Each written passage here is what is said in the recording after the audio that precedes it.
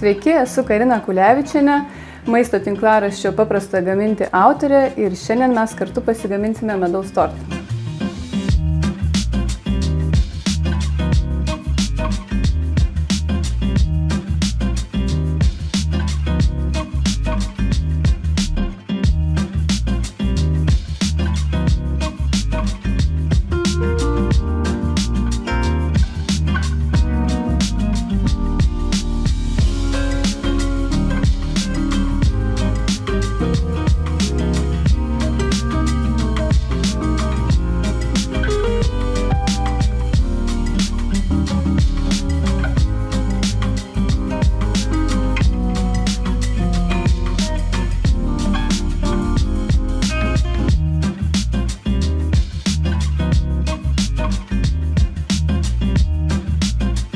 canal.